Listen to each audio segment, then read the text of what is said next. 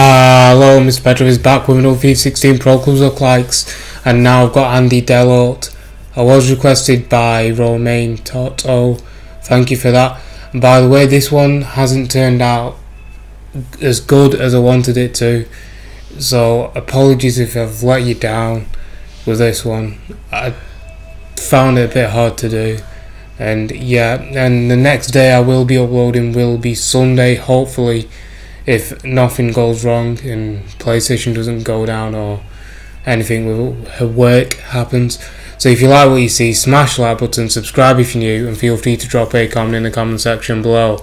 Peace.